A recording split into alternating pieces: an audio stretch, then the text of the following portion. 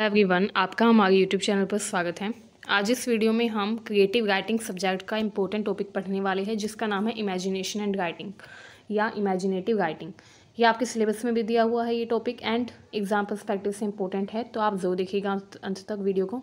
साथ ही अपने फ्रेंड्स को भी शेयर कीजिएगा। एंड अगर हमारे चैनल पर आप नए आए हैं तो हमारे चैनल को ज़रूर सब्सक्राइब करिए चलिए स्टार्ट करते हैं। We have seen that imagination is central to the concept of creative writing creative writing का मतलब क्या होता है? We have seen that imagination is central to the concept of creative writing creative writing जब भी हम क्रिएटिव राइटिंग की बात करते हैं तो उस कॉन्सेप्ट के सेंटर में जो चीज़ इंपॉर्टेंट होती है, वो होती है इमेजिनेशन ठीक है? क्रिएटिव राइटिंग का मतलब क्या होता है? रचनात्मक लेख। मतलब कि जिसमें हम अपनी रचना का यूज़ करें। जिसमें हम खुद कुछ इनोवेटिव करते हैं, कुछ नया करते हैं तो उसको क्रिएटिव कहा जाता है। ठीक है? एंड क्रिएटिव राइटिंग का मतलब होता है कुछ ऐसा लिखना राइटिंग समथिंग जो कि कम्प्लीटली न्यू हो and based on our own imagination जो हमारी इमेजिनेशन के ऊपर बेस्ड हो एंड जो इनोवेटिव हो, जो पहले किसी ने ना दिया हो है ना? हम जब कुछ ऐसा नया लिखते हैं, अपनी रचना, अपनी इमेजिनेशन का यूज़ करके, अपनी कल्पना का यूज़ करके तो उसको क्रिएटिव राइटिंग कहा जाता है एंड क्रिएटिव राइटिंग के सेंटर में इमेजिनेशन होती है, ठीक है? Literal imagination means the action of imagining और of forming mental images literally अगर हम इमेजिनेशन का मतलब देखें, यानी कि इमेजिनेशन का शाब्दिक अर्थ लिटरल मीनिंग तो उसका मतलब होता है एक्शन ऑफ़ इमेजिनिंग कल्पना करने की जो क्रिया होती है, जब हम अपने दिमाग में कुछ सोचते हैं किसी चीज़ की कल्पना करते हैं तो उसको इमेजिनेशन कहते हैं। जैसे आ, आपने कई बार देखा होगा कि ऐसे कॉम्पिटिशन्स वगैरह होते हैं कि आपको एट टू टाइम टॉपिक दिया जाता है एंड आपको उसके ऊपर बोलना होता है ठीक है? या फिर पोएम वगैरह कुछ बोलनी होती है या कोई लेक्चर देना होता है। तो जब भी आपको कोई पोएम वगैरह लिखनी हो तो आपके मन में जो कल्पना आती है उस टॉपिक से संबंधित वो ही एक अच्छी राइटिंग के लिए इम्पोर्टेंट होती है ठीक है? जब इंसान के मन में ज़्यादा विच आइडियाज़ आते हैं ज़्यादा थॉट्स आते हैं किसी भी टॉपिक से रिलेटेड तो वो अच्छे से उस टॉपिक के बारे में लिख पाता है एक्सप्रेस कर पाता है ठीक है? सो इमेजिनेशन का मतलब होता है एक्शन ऑफ़ इमेजिनिंग कुछ भी इमेजिन करना कल्पना करना किसी चीज़ की इमेजिनेशन कहलाता है ठीक है? एंड इसमें क्या कर, होता है? हम फॉर्म करते हैं मेंटल इमेजेस को अपने दिमाग में हम कुछ इमेजेस बनाते हैं। जैसे अगर आपको कहा जाए कि आप एक पोएम लिखिए इन्वायरमेंट के ऊपर, ठीक है?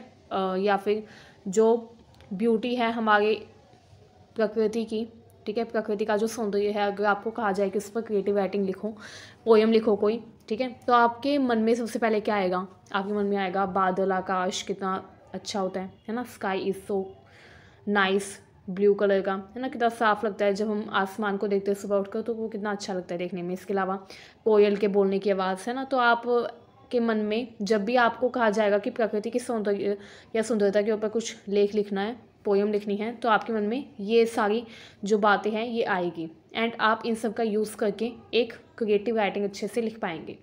तो क्रिएटिव राइटिंग में क्या होता है? इमेजिनेशन सेंट्रल रोल प्ले करता है। इमेजिनेशन का मतलब होता है action of action of imagining कुछ इमेजिन करने की क्रिया।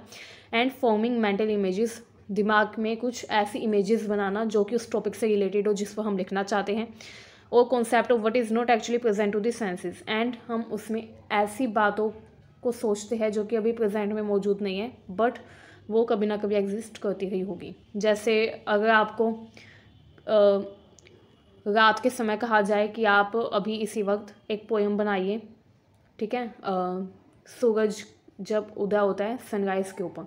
तो अगर आपको सनराइज़ के ऊपर पोएम बनाने के लिए कहा जाए रात को तो भी आप बना सकते हैं, क्योंकि आपने सनराइज़ होते हुए देखा होगा, है ना? कॉमन सी बात है ये। तो ये ज़रूरी नहीं है, जिस पर भी हम राइटिंग लिख रहे हैं, वो उसी टाइम प्रेजेंट हो, मौजूद हो, ठीक है? हो सकता है वो पहले कभी गई हो बट आपने उसको देखा हो इसलिए आप उसके बारे में अच्छे से बना सकते हैं, है ना? कोई भी पोएम या कोई भी ऐसे anything else towards the new and the original is the way of training people to write and imaginative writing तो लोगों को इमेजिनेटिव राइटिंग लिखने के लिए कई बार प्रशिक्षण भी दिया जाता है ट्रेनिंग काफ़ी ऐसे कॉलेजेस होते हैं जो कि क्रिएटिव राइटिंग का काम सिखाते हैं एंड ताकि वो जो स्टूडेंट्स हैं वो आगे चलकर राइटर बनना चाहे तो वो बन सके है ना? Imagination and poetry during most of the nineteen century वो suppose to dwell with naturalness imagination और पोइट्री जो है वो नेचुरल मानी जाती है क्योंकि आ, कई टाइम पहले आप देखते हैं कि आपने जब हिंदी में पढ़ा होगा जब आपने टेंथ एंड ट्वेल्थ की हिंदी पढ़ी होगी तो उसमें आपकी बुक्स में कई पोएम्स होती थी कविता होती थी ऐसे इंग्लिश की बुक्स में भी आपने कई कविताएँ पढ़ी होगी पोएम्स पढ़ी होगी। एंड वो जो पोएम्स है, वो काफ़ी पुरानी होती थी, है ना? एंड उस टाइम पर कोई ऐसा ट्रेनिंग का प्रोसेस भी नहीं था कि लोगों को ट्रेनिंग दी जाती हो ट्रेंड किया जाता हो कि वो अच्छे से क्रिएटिव राइटिंग लिख सकें पोएम वगैरह लिख सकें। तो इससे पता चलता है कि उन लोगों में पैदाइशी ही ये हुनर था कि वो शब्दों का इस तरीके से यूज़ करें कि वो एक पोएम का रूप ले लें, है ना? तो उस टाइम पर लोगों के अंदर ऐसी टैलेंट ऐसा टैलेंट मौजूद था। तो वो क्यों था? Because that was natural that was God gifted है ना? तो ये कहना भी आ, सही नहीं होगा कि बिना ट्रेनिंग दिए इंसान क्रिएटिव राइटिंग नहीं कर सकता। क्योंकि काफ़ी ऐसे हमको एग्ज़ाम्पल मिलते हैं जो कई टाइम पुराने जो राइटर्स रहे होंगे पोइट रहे होंगे उन्होंने इतनी अच्छी अच्छी पोएम्स लिखी हुई हैं। आप इंटरनेट की मदद से देख भी सकते हैं उन पोएम्स को पढ़ सकते हैं तो आपको पता चलेगा कि वो कितनी अच्छी पोएम्स लिखते थे। जबकि उस टाइम पर वो लिखते थे जब जब कोई ट्रेनिंग भी नहीं दी जाती थी उनको इसके लिए, है ना? तो इससे पता चलता है कि वो नेचुरली ये उनका नेचुरली उनके अंदर ये टैलेंट था कि वो इतनी अच्छी पोएम्स लिख पाए, ठीक है? So it is also based on naturalness ठीक है? Children peasant hermits gypsies all had not been corrupted by civilisation were prioritise as repositories of natural wisdom इसका मतलब है कि जो बच्चे होते थे उस टाइम पर ठीक है, सन्यासी होते थे जिप्सीज ठीक है, जो कि करप्टेड ना हो, जिनके मन में कोई भी छल कपट ना हो, जिन्होंने कभी भी गलत आदतों को अपने अंदर इंटेक ना किया हो, वो सभी लोग जो थे, उनको नेचुरल विजडम का भंडार माना जाता था। क्योंकि जब हमारे मन में कोई भी गलत विचार नहीं होता, जब हमारे मन में कोई भी गलत आदत नहीं होती, जब हम छल कपट निंदा इन सबसे दूर रहते हैं तो हमारी जो अंदरूनी जो बुद्धिमानी है नेचुरल विजडम जो होती है जो हर इंसान को गोड के द्वारा दी जाती है वो सामने आती है है ना? एंड उसके द्वारा वो फिर इतनी अच्छी रचनाएँ क्रिएशंस कर पाते हैं ठीक है? सो so, उस टाइम पर ज़्यादातर जो पोएम्स वगैरह लिखी जाती थी वो ऐसे लोगों द्वारा ही लिखी जाती थी जो कि जिनका मन काफ़ी साफ़ होता था। एंड जो कि जो कि ज़्यादा गलत विचार अपने मन में नहीं लाते थे, ठीक है? वो लोग उस टाइम पर काफ़ी अच्छी रचनाएँ लिखते थे, काफ़ी अच्छी पोइम्स वगैरह लिखते थे, ठीक है? Almost two hundred years later we still have not completely ejected the notion of naturalness being an essential attribute of literature and this is reason we distinguish between writing that need formal training research of actual information and creative writing देखो, दो हज दो सौ साल पहले दो सौ साल के बाद भी हम कम्प्लीटली इस धारणा को नेगलेक्ट नहीं करेंगे रिजेक्ट नहीं करेंगे कि नेचुरलनेस ज़रूरी नहीं है। नो क्रिएटिव राइटिंग अगर हमें करनी है तो इसके लिए ये भी ज़रूरत है कि हमारे अंदर नेचुरली गॉड गिफ्टेड वो टैलेंट होना चाहिए कि हम अच्छे से वर्ड्स को अरेंज करके लिख सकें, कि वो दूसरे लोगों को सुनने में काफ़ी अच्छे लगें। ठीक है? मतलब कि पोएम वगैरह या कोई भी ऐसे वगैरह क्रिएट करने के लिए हमारे अंदर टैलेंट भी होना चाहिए। इसके अलावा जब इंसान को फिर जब इंसान के अंदर टैलेंट भी हो एंड देन उसको ट्रेनिंग भी दी जाए तो वो बहुत अच्छे से उन बातों को लिख सकता है एक्सप्लेन कर सकता है, ठीक है? एंड लिटरेचर में काफ़ी इम्पोर्टेंट ये एट्रीब्यूट माना जाता था नेचुरलनेस जब तक इंसान के अंदर नेचुरल टैलेंट अगर नहीं होगा तो वो अच्छे से रचना नहीं कर पाएगा, ठीक है? तो नेचुरल टैलेंट होना चाहिए था किसी इंसान के अंदर, ताकि वो अच्छे से क्रिएटिव राइटिंग कर सकें। एंड इसके अलावा उस टाइम पर जो लोग थे, जो कि क्रिएटिव राइटिंग करते थे ज़रूरी था कि उनके पास फैक्चुअल इन्फॉर्मेशन भी हो, ठीक है, कि आसपास क्या हो रहा है, ताकि वो उसके बारे में अच्छे से अवेयर रहे। एंड किसी भी टॉपिक पर वो तुरंत पोएम वगैरह बना सके या कोई भी रचना कर सके। तो काफ़ी इंपॉर्टेंट होता था कि लोग जो है वो फैक्चुअल इन्फॉर्मेशन से भी अवगत रहे, उनको पता हो, ठीक है। एंड धीरे धीरे क्या हुआ? फॉर्मल ट्रेनिंग दी जाने लगी लोगों को, ताकि वो अच्छे से क्रिएटिव राइटिंग कर सकें, ठीक है? एंड चलिए अब हम नेक्स्ट टॉपिक पर आते हैं। काफ़ी बार क्रिएटिव राइटिंग को नेचुरलनेस से जोड़ने का फ़ायदा भी मिला है, ठीक है? क्योंकि अगर हम सबको यही बोलेंगे, अगर यही बोला जाएगा कि क्रिएटिव राइटिंग जो है, सिर्फ़ वही कर सकता है जो कि स्पेशलाइज्ड हो जिसको ट्रेनिंग मिली हो फॉर्मल ट्रेनिंग मिली हो, अगर सिर्फ़ यही बातें लोगों तक पहुंचाई जाएगी तो जो मार्जिनलाइज्ड सेक्शन हैं, ठीक है, जो अंडर प्रिविलेज लोग हैं, जो कि एक्सप्लोइट होते रहे हैं काफ़ी टाइम से, उनको भी लगेगा कि वो कुछ भी क्रिएटिव राइटिंग नहीं कर सकते, क्योंकि उनके पास इतने पैसे तो है नहीं कि वो ट्रेनिंग ले सकें, है ना? तो वो कुछ भी नहीं लिख पाएँगे, क्योंकि जब इंसान को ये कहा जाता है कि वो बिना ट्रेनिंग के ये काम नहीं कर सकता तो वो उस काम को करने की कोशिश भी नहीं करता, ये तो कॉमन सी बात है। तो इसीलिए ये बात कही गई कि नहीं, जो क्रिएटिव राइटिंग है, वो नेचुरली भी लिखी जा सकती है। It is also based on natural naturalness ठीक है? रैदर देन स्पेशलाइजेशन ज़रूरी नहीं है कि फॉर्मल ट्रेनिंग दी जाए। हाँ फॉर्मल ट्रेनिंग जब दी जा, जाती है इंसान को तो उसकी जो नेचुरल एबिलिटी है, उसकी जो नेचुरल क्षमता है, शब्दों को इस तरीके से अरेंज करने की कि वो अच्छे से क्रिएटिव राइटिंग बना दे पोएम बना दे अच्छी सी पोइट्री में उसका अच्छा यूज़ कर सके। तो जब उन इंसान का इसके लिए ट्रेनिंग दी जाती है तो वो और भी ज़्यादा बेटर से बेस्ट बनता है, ठीक है? इसमें कोई शक नहीं है। बट हमको हमेशा यही कहना चाहिए कि क्रिएटिव राइटिंग जो है, ये नेचुरल नेचुरल होती है, ठीक है? हर इंसान के अंदर क्षमता होती है कि वो कोई ना कोई क्रिएटिव राइटिंग लिख सके। एंड इससे ये फ़ायदा होगा कि जो मार्जिनलाइज लोग हैं, जिनको हाशिए पर धकेल दिया गया है, जिनको सोसाइटी में अंडर प्रिविलेज माना जाता है, जो कि सोसाइटी में, जिनको सोसाइटी में उतनी रिस्पेक्ट नहीं मिलती जितनी उनको मिलनी चाहिए तो ऐसे लोगों को अपनी बात दूसरे लोगों तक पहुँचाने के लिए क्रिएटिव राइटिंग का सहारा लेने का मौका मिलेगा, ठीक है? एंड ऐसे लोग भी स्टोरीज लिखेंगे पोएम्स लिखेंगे नॉवेल्स ड्रामास ऑटोबायोग्राफी लिखेंगे, जिससे बाकी लोगों को, पढ़े लिखे लोगों को उनकी सिचुएशन के बारे में पता चलेगा, उनके माइंडसेट के बारे में पता चलेगा। They may not have access to expensive elite education so they may not be able to occupy the वेलगाइज position in society but everybody can tell story देखिए जो गरीब लोग थे उस टाइम पर, ठीक है मार्जिनलाइज एंड अंडर प्रिवलेज जो लोग थे, उनकी हालाँकि पहुँच नहीं थी एक्सपेंसिव एजुकेशन तक।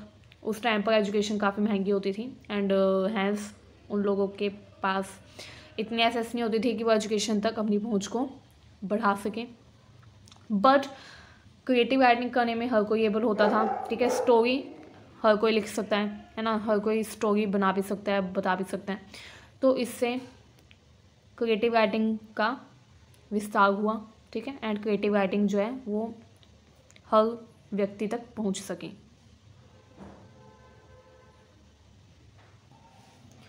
हालाँकि जो कॉन्सेप्ट है नेचुरलनेस का, वो हमारी जो विल होती है, उसको अंडरमाइन नहीं कर सकता। मतलब कि जैसे ये कहा जाता है कि क्रिएटिव राइटिंग जो ये नेचुरल है गॉड गिफ्टेड होती है है ना? तो अगर कोई व्यक्ति सोचे कि मेरे पास तो ऐसा टैलेंट ही नहीं है कि मैं क्रिएटिव राइटिंग मतलब कि एट टू टाइम पोएम बना दूँ, है ना? तुरंत ही स्टोरी बना दूँ तो ऐसा टैलेंट हालाँकि हर व्यक्ति के पास नहीं होता बट नेचुरल नेस का जो जो कॉन्सेप्ट है, ये हमारी विल को अंडरमाइन नहीं कर सकता। मतलब कि अगर इंसान के अंदर विल पावर हो कि नहीं, मुझको पोएम बनानी है तो बनानी है, चाहे मेरे अंदर टैलेंट हो या ना हो। तो अगर इंसान ये सोच ले तो उसको अच्छी पोएम बनाने से कोई नहीं रोक सकता, ठीक है? क्योंकि सबसे ज़्यादा जिसकी नीड होती है वो है सस्टेंड एफर्ट मतलब कि इंसान लगातार प्रयास करता रहे, प्रयास करता रहे एंड जब वो लगातार एफर्ट्स डालता है डालता है तो वो एक बहुत ही अच्छी राइटिंग का निर्माण कर पाता है, ठीक है?